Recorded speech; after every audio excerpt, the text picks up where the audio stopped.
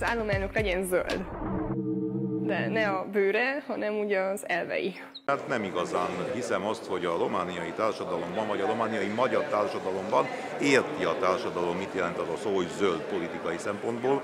Bezöldül-e az RMDS? Ez a kérdés a szövetségi képviselők tanácsán, ahol Kelemen Hunor államfőjelölt bejelentette, hogy a kampánynak egy fontos része lesz a környezetvédelem is.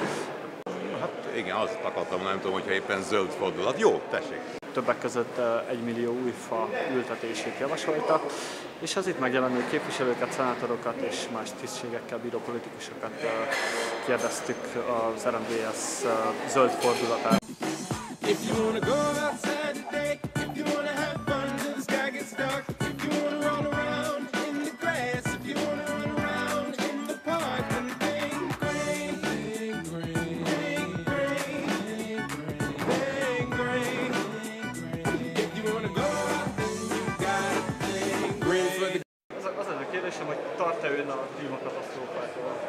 Persze, tartunk. Hát át is éltünk egy párat. Ugye volt, mikor kiöntöttek a, a Máramarosban azok az érdekes tavak. Persze, hogy tartunk a klímakatasztrofáktól, de ugye ezek a nagy árvizek is azért voltak valamikor, mert az erdeinket jól megdésmálták. Nagy kihívásunk nekünk az, hogy a brüsszeli szemléletet hogy tudjuk hozzá igazítani a, a székelyföldi valósághoz. Hú, ezek most ilyen nagy szavak, de igazából ha lefordítjuk a klímaváltozás hétköznapokra, akkor baj van. Baj van, viszont ezt nem egy román államelnök, vagy nem az RMDS kell megoldani, azt viszont meg tudjuk oldani, hogy helyi szinten, amit a közösségekben, vagy országos szinten, amit a különböző rendszerekben tesz az állam, vagy a közigazgatás, vagy a magánember, vagy a vállalkozó, az inkább legyen összhangba azzal, ami kevésbé helyez bennünket olyan helyzetbe, hogy a klímaváltozás, vagy a, a eszement hulladék gazdálkodás hiánya, stb. a közösségeinket leszegényítse, rossz helyzetbe hozzá. Vannak olyan globális valóságok, amelyeket uh, tudományeszközeivel kellene megmérni. Tehát itt a klímaváltozás, illetve azoknak a tábora, akik hisznek és azok, nem hisznek benne, az egy nagyon hangos vita. Talán tudományeszközeivel kellene válaszolni erre. Nagyon érdekes előadáson vettem részt Áder köztársasági elnök úr előadásán néhány hónapja Csíkszeredában Szapiencia Egyetemen, és az egy hihetetlenül jó összegzése volt mindannak, ami fenyegeti ma a bolygónkat. Mindenképpen a, a, a zöld dolgok fontosak, mert hogy a környezetünk és a, a jövő szempontjából ezek elengedhetetlen dolgok. Arra viszont kell figyeljünk, hogy nem méregzöldek legyünk, hanem, hanem valós zöldek. Az európai parlamenti kampányban végigálltam az országot, és nagyon-nagyon sok olyan fiatal találkoztam, aki rákérdett, hogy az RMDS választási programjában van erről szó. Nem volt. Ha már a két és fél literes pestpalackot sörrel felvitted a hegyre, akkor üresen csak le tudod fát ültetne, limitálná a műanyag használatot, illetve gyártást. Figyeljen oda a természetre, legyen magyar. Csak nagyon sokan mondják a politikai jobb oldalon, hogy, hogy a klímaváltozás mítosza azért gyakorlatilag egy ilyen kampány fegyverként használja a baloldal magának, és hogy ez nem valós dolog. Erről, erről mit gondol? Én úgy gondolom, hogy nem, nem azt kell megnézzük, hogy más mit csinál, hanem mi kell eldöntsük azt, hogy mit tudunk tenni. Nem azt gondolom, hogy ezt szlogenként használjuk, a szövetségi elnök sem szlogenként fogja ezt használni, mert hogy az RMDS azért egy olyan szervezet, aki nagyon megfontolt és meggondoltan vállaljuk és, vála- és választjuk ki a szlogenjeinket, mert tudjuk azt, hogy azért ez egy, ez egy probléma és ezen dolgozni kell.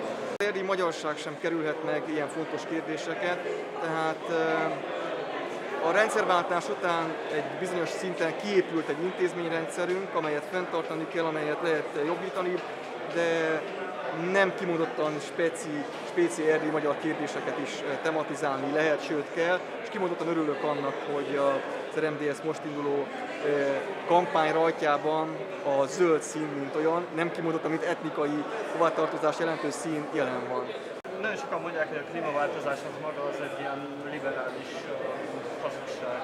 Mit gondol erről? Akár Magyarországon is vannak olyan pártok, akiknek prominensei állítják ezt. Én csak azt mondom, hogy mikor nagy hőség van, álljunk be egy fa alá. És hogyha beálltunk a fa alá, megérezzük azt a 5,10 fok különbséget, hogy ez igaz vagy nem igaz, az minden ember megérzi a saját bőrét. Én is egy liberális gondolkodású ember vagyok.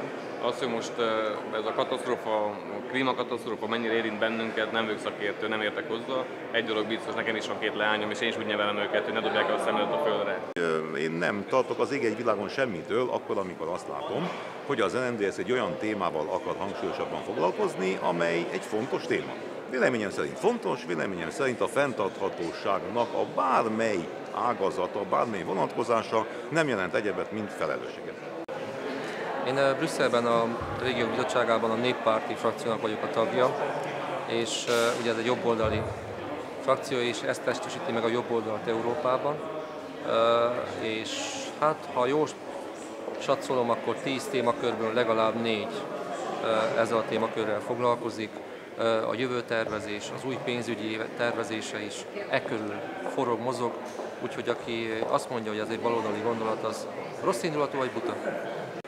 A nem csak baloldali, és én azt mondom, hogy annak ellenére, hogy Európa valószínű, hogy élen jár ebben a tekintetben környezetvédelmi intézkedésekkel, élen jár energiahatékonyságban, élen jár csomagoló anyagok visszaszorításában. Ez egy olyan nemzetközi probléma, egy olyan világméretű probléma, amelyel foglalkozni kell. Én azt gondolom, hogy a, van néhány olyan egyetemes kérdés, amely nem kimondottan jobboldali és baloldali. Most a, valószínűleg, hogy kialakulhatnak a megoldásokat tekintetében jobb és baloldali narratívák, de jelen pillanatban a klímakérdést én nem látom, nem ideológiai kérdésnek látom, hanem sokkal inkább egy egyetemes, az emberiség jövőjét befolyásoló tényezőnek. A környezetvédelmet ideológiához kapcsolni, az meglehetősen nagy bűn lenne, így is fogalmazhatok. Tehát az más kérdés, hogy mekkora a veszély, milyen perspektívában és hogyan kell gondolkozni erről, de ezzel kapcsolatosan mégis azt hiszem, hogy a szakembereket kellene figyelembe venni. Klímával kapcsolatos kérdéseket sokan, hogy mondjam, leegyszerűsített és populistának hangzó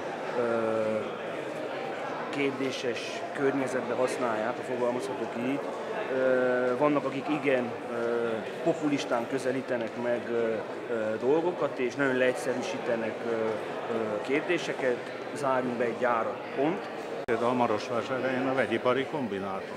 Aztán persze nem teszik hozzá a megoldásnak a lehetőségét is. Igen ám, de ezrek dolgoznak a kombinátban, vagy ezreket érint, és hogyha valaki hozzányúlna ehhez, akkor, akkor, akkor családok akár ezrei maradnának jövedelem nélkül, nem tudom most a pontos számokat, de a nagyságrend valami ez. Tehát ezek nagyon kemény döntések, de akkor is meg kellene nézni, hogy ezzel, ezzel mi. Ma már minden politikus elsősorban arra figyel, hogy meg ne bántsa közvéleményt, hogy nehogy megsebezze azokat, akik őt támogatják. Nem könnyű vállalni azt az áldozatot, hogy igenis meg kell húzni például a nadrágszia. Tehát ez erről szól, energiatakarékosságról, másfajta energiaforrások megkereséséről. Tehát én egyáltalán nem vagyok meggyőződve arról, hogy azok, akik azt hangoztatják, hogy ez, ez csak ilyen maszlag, ez a klímaváltozás és a környezetváltozás, azok ezt komolyan gondolják, vagy egyszerűen ez a kényelmesebb megoldás ebben a pillanatban, és hát az utódokra hárítani ezt a feladatot. Nem hiszem, hogy egy politikai program ennyiből állhat. Ez nem is annyira politikai program, azt gondolom, hogy felelősség és feladat, erről kell beszélni, ezt kell mondani, és ez nem állítható szembe semmilyen más politikai kérdéssel. The grass and Christmas trees. Green loves plants and lives on leaves. Okay. Green for the vegetables that you need, uh-huh. like green beans, spinach, and broccoli. Uh, green means go. I hope you do. You Did you know you get green mixing yellow and blue, and green for frogs and green for limes?